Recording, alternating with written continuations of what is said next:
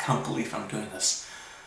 I'm a 22 year old nerd who does reviews and here I am doing a fucking makeup tutorial. Uh, Filet bitch. Tanaka Talofa and good morning to people of the internet and uh, well, welcome to a cosplay makeup tutorial. My goodness. Yeah, I, I can't believe I'm doing one of these things. I'm... Oh, good grief. Like... Uh, no, but in all sincerity, I thought it might be a cool little thing to do, just a little bit of cosplay content.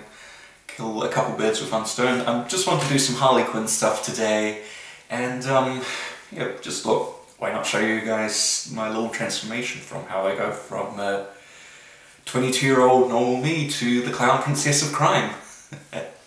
so, um, yeah, guess let's just get started.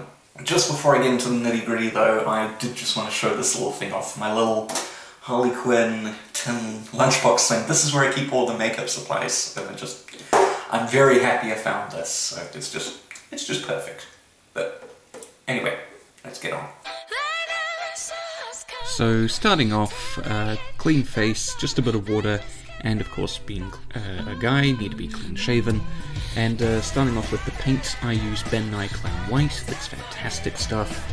So apply it to a beauty blender and then just go to town with face work on it. Um, apply it evenly, uh, two to three layers is usually the best amount to go for, um, but yeah.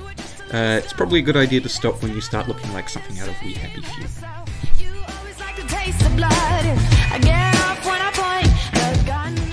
And um, also a little hint, if you're wanting a little hand to get the makeup off of your face or your hands or whatever, um, I use my uh, charcoal shower scrub.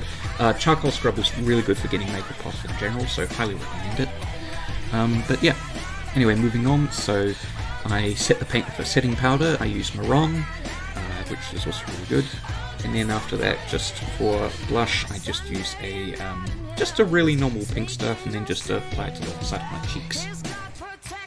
Then for the lips, I just use a normal black lipstick. And um, I would also recommend using a, a, bit of an eyeliner pencil or a lip liner. It helps really give your smile a really good clownish look, which is perfect for Harley. Um, and then, after a little bit of eye makeup, which I've decided not to show because I still struggle with that, even though I've cosplayed Harley several times, um, I then glue my Harley Quinn mask to my face with some spirit gum, and when it's nice and dry, let go, hey presto, Harley is ready for the day, and all you need is your Jester costume. Thank you guys so much for watching, and a big thank you to my good friend Morg Anarchy out in Millsborough for suggesting this little video for me. Um, if you guys want to see a few more makeup tutorials from me for, say, Phoenix or any other characters I do, uh, feel free to suggest them in the comments. And if you want to see some other cosplay content, I'd be really keen to hear your ideas too. So thanks for watching. But now it's time to meet Mr. J. We got a little heist to plan. See ya!